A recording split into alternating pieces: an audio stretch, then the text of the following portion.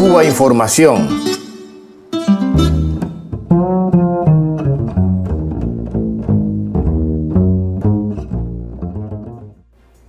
El pasado 20 de enero, cuatro días después de que la Casa Blanca anunciara el levantamiento de ciertas prohibiciones en el comercio con Cuba, otra compañía estadounidense, la Watt Holding Inc., era multada con 140 mil dólares por violar las leyes de bloqueo a la isla.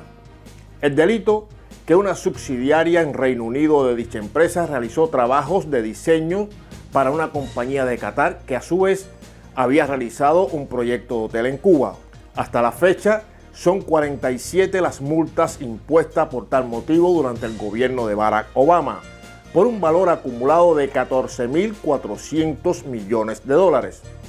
Desde que en diciembre de 2014 Estados Unidos y Cuba anunciaron el restablecimiento de relaciones, la Casa Blanca ha multado ya a seis entidades de Estados Unidos y de otros países por un valor de 2.800 millones. ¿Verdad que no han leído una línea sobre esta última sanción en la gran prensa internacional? Quizás sea porque estos hechos contradicen el mensaje que los grandes medios tratan de imponer en la opinión pública, que el bloqueo a Cuba está prácticamente levantado gracias a la enorme generosidad hacia el pueblo cubano del presidente Obama. Mensaje que, por supuesto, encuentra miles de almas ingenuas que se lo tragan.